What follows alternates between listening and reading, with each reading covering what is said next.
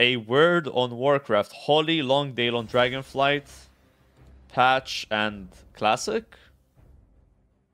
Oh yeah, this is interesting. So this is the timeline for uh the for retail WoW. So I mean, how you guys play retail, but they, they probably like moved some stuff around, right? It looks like the expansion is coming out late summer. But here's what is interesting, right? This is the roadmap for Classic. We are right here, okay?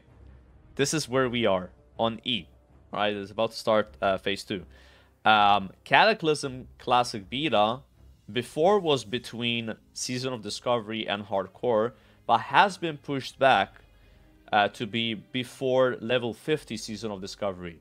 Um, so there's been a pushback for the beta of, of, of Cataclysm, uh, not the actual launch. So that was like a change they made in this uh, roadmap here. So instead of the beta coming out maybe the end of this month, it's gonna come out. Looks like it's gonna be April. Probably, yeah, like mid-April or something, right? Because like uh, I think spring starts in 20th March. Yeah, 20th March. So uh, that's here, and then Cata Beta is right here. So like yeah, definitely April. So but judging by this, so like Self-Found Hardcore will be like mid-March. Um, it looks like, and then Cata Beta will be like mid-April, and then level 50 uh, SOD will be maybe end of April, early May. So this could be three months of phase two, guys. So don't don't rush the game. I know you want to play 24 hours on launch. Listen, okay? Don't don't just like exhaust everything out of this phase. Take it nice and slow. Have fun, okay, guys? Because uh, you know might be a three months, uh, might be three months long. So, I Waylaid supplies tooltip issue. Um, as a part of our change to Waylaid supplies to make them no longer unique, you can no longer hand in particular partially filled crates, so you'll need to vendor those. At this time, the tooltip still says they can be turned in unfilled. We will deploy a hotfix for the tooltip as soon as possible. Oh yeah, so I heard that there were people that saved 150 uh, supply boxes for phase 2. Their entire bank was full. Their entire uh, bag was also full. And Blizzard has increased the amount of experience you receive from these Waylaid supply crates. I believe people were getting around 3000 XP uh, with the 50% buff. So, like, you get a box, guys, in Phase 2, fill it, alright? Uh, hand it in, you're gonna get big XP.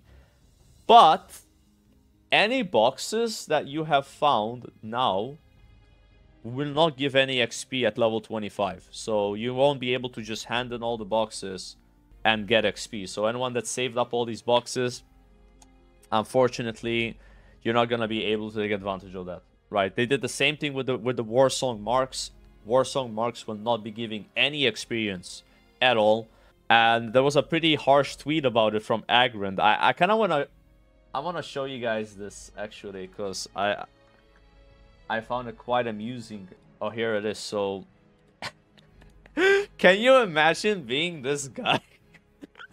He's like, like, here's the thing. This is also not cheap, right? So, like, every every one of these boxes here, uh, first of all, was a couple of flight paths, and also probably like 50 silver worth of materials at least, right? Um, so like, we're looking at probably 100 gold and who knows how many hours um, and yeah, every one of these boxes gives you like two to three thousand experience. So this guy would have like, he would have been like level 33 or something just handing them in. But Blizzard has made it that they don't give XP at 25. I guess it's like any box that you have found before phase 2 doesn't give XP at 25 or onwards. That's probably how they coded it, right? So if you found a box in phase 2, it would give you XP. There's going to be new boxes, right? Yeah, where is the uh, reply that I'm looking for? He is pretty active on Twitter, so... Oh, here it is. Um, this is pretty based. This is regarding the marks, um, the, the, the Warsong marks, right? Uh, I don't have a ton of sympathy for folks who plan to abuse a quality of life feature like mail recovery to blast from 25 to 40 in an hour or less. Call it whatever, uh, call it what you want, but an exploit is an exploit. I'm sorry, not sorry, if anyone wasted their time doing this nonsense. So yeah, if you guys didn't know, people were basically spamming Warsong Gulch and deleting the marks because they only stack to 20. And then item restoring them in the mailbox. So they had like hundreds of marks that they were going to hand in to level 2 uh, 40 SAP.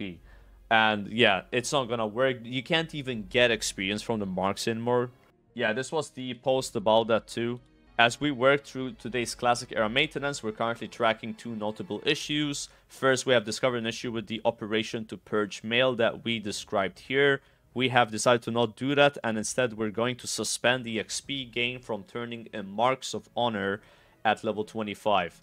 It's going to be from 25 to 40, by the way, not just 25. In addition to removing the overflow mail from marks of honor. So basically now, if you have, if you get 21 marks of honor, that last one gets deleted. So there's no point for you to have more than 20 marks. You just go and hand them in, get the honor from them, right? Any marks uh, more than 20, they will get deleted. Uh, we suggest you spend your marks before reaching 20 of them. Uh, we also have an issue affecting interface add-ons. Some add-ons are proceeding, uh, are producing errors or not functioning as they did before. We currently expect to go live with this issue and we will then fix it as soon as possible. Are are the add-ons working now? That was that was a couple days ago. I don't know if they're working. Oh, this one's interesting. Okay, this so this is a bit um okay. So BFD Void Trinket available in Booty Bay. Uh, 75 gold cost. Must have completed the quest. So Blizzard has added a there's a vendor in Booty Bay. I think he was always there maybe. Uh, and he will now be able to sell you uh, the trinket from the last boss of, of uh, Black Fathom Depths. Now, here's something very important that you gotta know. So, if you don't have the trinket, you have never looted the item that starts the quest that gives you a trinket, you can't come here and just buy the trinket. This is only for people that have the trinket already. Basically, the point of this is that if you were playing a Shadow Priest in Phase 1, and then you later decide, oh, I want to go healer priest, and then maybe you pick the healer trinket, right? And now you want to go back shadow priest in phase two, but you don't have the shadow priest trinket. You can buy the shadow priest trinket, assuming that you already have one of the three trinkets. Now, the problem with this is that this is a unique item, so you have to delete, well, I guess vendor, um, your existing trinket to buy a new one. So you have to go vendor this one and then buy this one. Yeah i don't know how many people are gonna be doing this. Um honestly 75 gold is kind of extreme.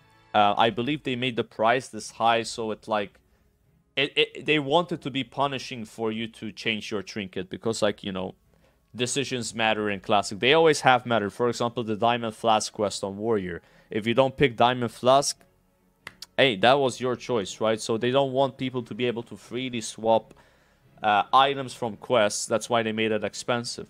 Now they have said that it was a mistake that they added a trinket this early into the game that was very powerful when there's not that many trinkets to pick from and they're gonna try to learn from this moving forward so they don't have this situation happen because let's be honest right if you pick the healer trinket and then you want to go dps and there's two other dps trinkets you wouldn't care about this right because you have other options, but there's no other options right now. So that's why it matters a lot. But yeah, it definitely is a bit, uh, you know, controversial. Like some people are getting mad about this because of the price. Um, again, you can't just go there and buy this. You need to have completed the quest. So if I'm like, I just hit level 25, I can't go and buy the trinket. This is not pay to win in the sense of buying a BOE on the auction house. This is like, oh, I already have the item.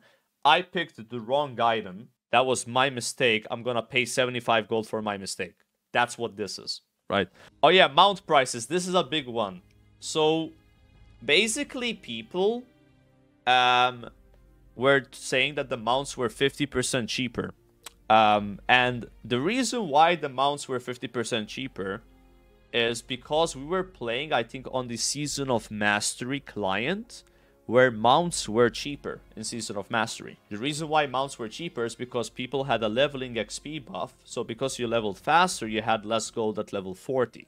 So then you couldn't afford the mount. So that's why they made it 50% cheaper, and it still was hard to have 40 gold at level uh, 40, even with that change. So that's why it was this price. Um, It is now the normal amount of gold, so it's gonna cost you 100 gold to get normal mount, minus 10% if you have honored, minus 10% if you are rank 3. So it will be 80 gold or 81 gold um, if you are rank 3. This is how it's always been. It's just people thought it was gonna be cheaper because that's what it looked like, but it was just the Season of Mastery version.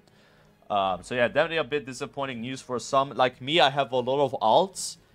If I level 7 characters to level 40, that means I have to spend, let's say I spend 90 gold each, 630 gold.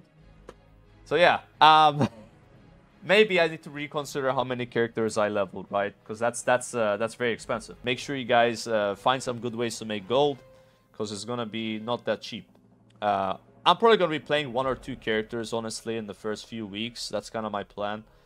Um, it is only gonna be hard to sustain characters early on, so I don't want to like, you know, level too many and then like just like, oh, I don't, I don't afford mount, I don't afford spells, so so yeah, it's this is just normal price of mounts, by the way. Nothing has really changed. It's just like for some reason it was the SOM version, so people thought it was gonna be cheaper. Uh, this is how it was in the original classic. Greater Insignia PvP trinkets available for rank 5. So it seems potentially that the highest PvP rank that you can get in phase 2 is gonna be rank 5. I am not sure about this. Also, you can start farming honor for phase 2 right now. There's already people that have 45,000 honor, uh, which is how much honor you need to get rank 5. So if you're rank 3 and you want to get rank 5, 45,000 honor, okay? You'll go from 3 to 5 in one week. Um, so you know. Now, it's not really, doesn't make sense to farm honor now because you can get more honor at level 40, but people are doing it because there's nothing to do right now. So yeah, yeah. Uh, they also have added a new trinket from the looks of it called the Greater Insignia of the Horde. So this trinket can only be used if you're rank 5. And what this trinket does is it removes all form of crowd control. So this is basically a normal trinket from like retail or something, right? It doesn't just remove specific, um, you know, like oh, only blind, only polymorph. It's all crowd control. So that's what you get. It has the same cooldown. I wonder if it shares cooldown with the other trinket. So let's say you, you know, use it, right? And then can you swap to the other PvP trinket? We don't know, right? Uh, no one can possibly know this. But uh, that would be kind of good. Because they can have both, uh, yeah, removes all CC, sap, trap, everything. It shares cooldown for sure. We don't know that, guys. We don't know that. Um, there's some crazy stuff that made it into the game. I'm gonna go over, okay? Um, there's some things that you don't know about, and you're gonna go like WTF, okay? Like, there's no way that's gonna stay like that. Um, I'm speaking about mage-related stuff here. But yeah, um, that's that's what you get rank 5. So I don't know if you can get rank 6 in this phase. I think you can. I don't know. I don't know, right? We, we're going to have to wait and see. But yeah, 45,000 honor to get to rank 5 from rank 3. That's a lot of honor, but is it though at level 40? You can probably get 45,000 on level 40 in one day. You played all day, maybe you would get you would get 45 because the higher level you are, the more honor you get, right? Um, but yeah, right now it's, it's going to take a long time though. Okay, so... Uh, so apparently there was a guy that got a rune already. Uh, he found the Spellfrost Bolt. Apparently since then they have disabled this. So like the so the guy that found it, it's grayed out in his character. You know, like he can't use it, right? Uh, can someone link me the clip by the way? Uh, I think I, I saw a clip posted somewhere, like, but it's not here. There's like a clip of what this looks like. So basically, if you want to know where you get this, spoiler alert, I believe it's from the level 44 caster trolls that are all the way in STV. You know, that like area where you gotta kill these like very high level trolls that drop the fetishes and stuff, right? The troll sweat. Um, you find it like up there. So um, if you you could probably get this at level 25 once the server is live. Yeah, this is what it looks like. Oh, that actually looks cool. Can you just uh, It's like arcane it missiles all in a circle, and then it has. It, it actually, looks, looks cool. And it's arcane and frost damage. So this can proc frostbite. It can it can heal you as well, right? That's actually really cool. It doesn't. Oh, it procs frost. It's it actually looks sick, yeah. So like the thing about that, that's gonna be really OP in PvP, is like imagine you're playing a Frost Mage, right? And then you have the regeneration rune. You can just spam that, slow a player, um, heal yourself, okay? Penetrate the resistance based on which lower resistance they have. So if you go, for, so if you're like a player and you just go for high Frost res, and you have low Arcane res, it's gonna factor in your Arcane res. That's how that spell works. So let's say, for example, you're fighting a boss. This boss has 100 Frost res, and then he has 0 Arcane res. Just gonna do it as if he has 0 resistance. That's what's really good about this spell. It checks both your resistances. It says it right here. And then it, it, it, it deals damage based on the lower one. And it can it can obviously slow you. It will proc the Frostbite, right? It can obviously work some Shatter. It will heal you with the Arcane Rune. Like, this is gonna be really, really good. I expect, like, PvP mages to probably be playing this. Don't worry, I've been making PvP guides guys for phase two. Okay, we'll be doing some a lot of PvP on the stream, so you'll see me uh, own some noobs uh, with the Frostfire Bolt. 100%. Uh, All right, so that happened. Uh, again, the guy that got this rune, don't get mad, right? He cannot use it. They have disabled the rune for him. He cannot like press it. He has the Drake rune, but he can't use when? it. I was not expecting this, so like they made certain spells like Living Bomb, Explosive Shot, so that like if I use Living Bomb on a player and then that player runs to a civilian, so then when the bomb explodes, I kill the civilian and lose uh, my rank. That doesn't happen anymore. So that's really nice. The answer about win trading was pretty vague. They they kind of said like, yeah, it's against the rules, but you know, hopefully people will police themselves and not win trade. Yeah, we'll see about that. Uh, quality of life design, I mean, it's kind of same answer as the other one, right? Um, what was this? Yeah, this is just kind of just kind of like, you know, not, not really important here. Uh, class design, like they basically said that apparently Heart of the Lion was going to be in phase 2. But I made it in phase 1 because uh, people gave feedback and, you know, honestly, like it's a great choice. I don't think Paladins would have taken Blessing of Kings because it's in the protection tree, you know, like people want to play ret.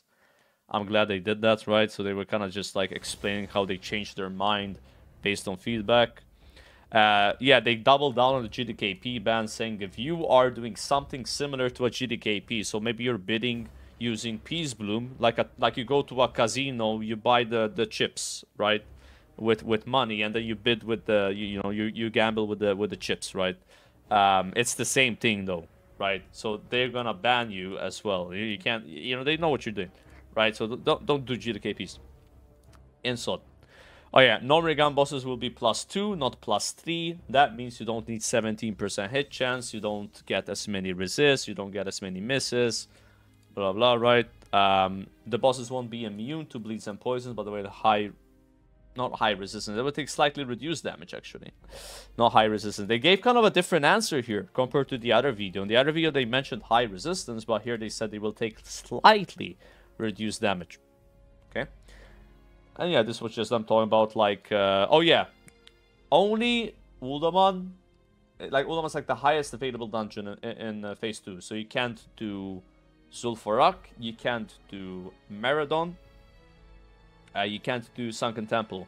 So it's a bit of a bummer. Um, you know, how do I say this? So like, I understand why they do this, and I think it's the right choice the problem that I have as a player is that I don't have as many things that I can do in the game, right? Especially when one of the dungeons is turned into a raid, right? So there's only so many dungeons I can do.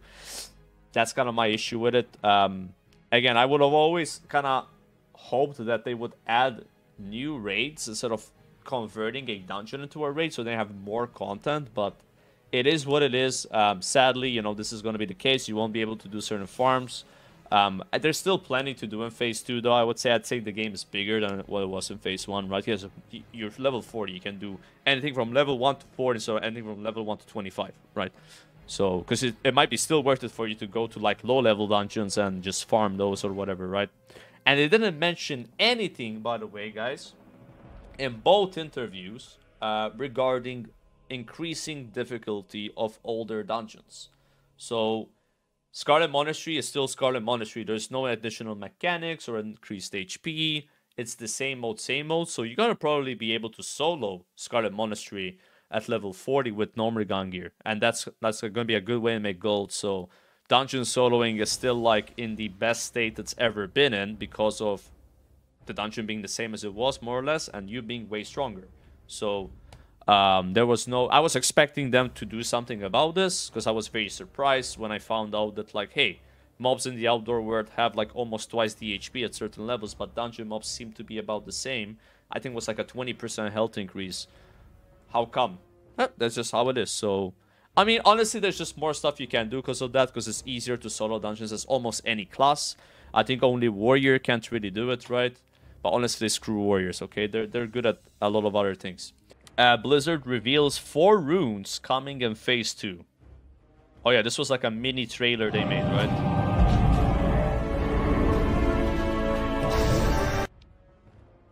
Quality looks kind of bad. I think this is like the heal that they showed in the uh, presentation, right? You fuse fire, arcane, and frost magic together for a massive heal you like store this so you it lasts like 15 seconds right? You store a heal and then when you want you activate the ability again to heal a target i believe. I mean that could be really good for aoe farming right? Like you're about to do a big pull you store a heal you do the pull you're about to die boom you heal yourself. I'm just saying this could be the go-to room for aoe farming Assuming you can use it on yourself. Um, I mean, probably, right? the backpedaling hunter on the... but yeah, hunters control traps, right? Ring. Use melee attacks to make healing and damage spells instant cast. That's the Maelstrom weapon, right? That wasn't even instant, though. Uh, avoid damage and movement impairing effects. Dispersion. How are we gonna deal with Shadow Priest? I feel like they're gonna be the best in PvP, man. Everybody's saying rogue, rogue, rogue. I don't know, man. Like Shadow Priest, like... So apparently, uh, Shadow Form is going to have a 50% mana cost reduction of all Shadow spells.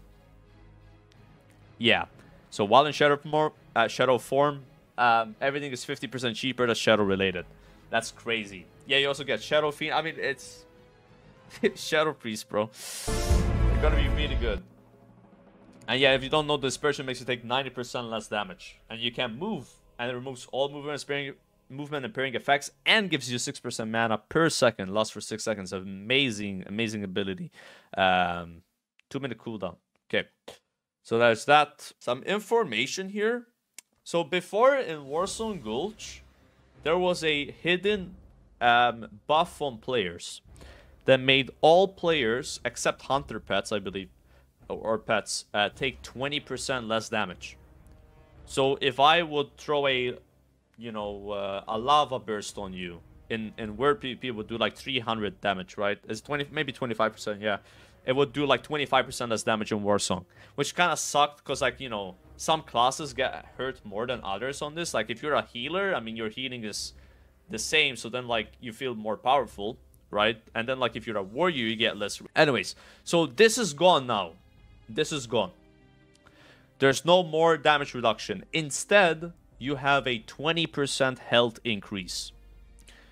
Um, I think this is better right? So you're gonna do the same damage, but people have a bit more HP. So I believe the point of this is that because people do more damage, PvP is like more extreme, so like you can get one shot more likely, right? So that's why they had the 25% damage reduction. But it's not fun to take less damage. Even though if essentially having 20% more health is like the same effect, it feels better to see big numbers, you know? Um, it, it kind of sucks for some classes like Warrior as well when you just charge in and then you get no rage almost, right? So I think this is a better better thing to do. I'm kind of glad they did this, right? Yeah. I, I don't know what the kind of feedback people gave about it, but it's probably mostly positive. Oh yeah, this is, uh, we're gonna go over spoilers, guys. You guys want spoilers or no spoilers? This, this is gonna be five new items. Data mine. I mean, it's just five items, okay. Alright. Um, so these are five items that have been data mined in Gnomeregan. Let's go over one of them. This is this is the helmet from original Gnomeregan. but it has more stats, I think, and it just gives you a 16 more healing and spell damage. I think this already was there. So pretty much the same item, but it has 16 more damage. This, I don't know if it's new or not. Looks like a uh, good item for Ele Shaman, maybe Enhancement Shaman. Yeah, Ele slash Enhancement slash Resto Shaman item, right? And then here we have a very similar one, but instead of Spirit, it has Agility. And it has 1% hits. Sorry, crits. So Hunters would like this. Enhancement Shamans again, probably, right? So that's kind of what that is. Um, and then there's a plate helmet that has mana regen and 1% crit with intellect and stamina. Probably Holy Paladin item, maybe also Ret Paladin. Um, and then here is some very good gloves. So they have 10 agility and 11 stamina, leather gloves with 3 fist weapon skill and 3 mace skill. Dude, these are kind of nuts, man. If you're if you're running maces or fist weapons, I assume these are your best in slot. I can't see how anything else could be better. Um, and I think there are some really good fist weapons in, Gnomeregan, so yeah, people are gonna want those gloves for sure. Oh yeah, so like uh, this is Waylaid supplies. They stack to 12 now, so no longer one crate only, guys. You can have up to 12 crates. How about that? It only took two and a half months for the technology to increase this number from 1 to 12. Um, but it's it's still nice, you know, like uh, no more running back and forth when you get one crate. I believe that was it for uh, posts on Wowhead.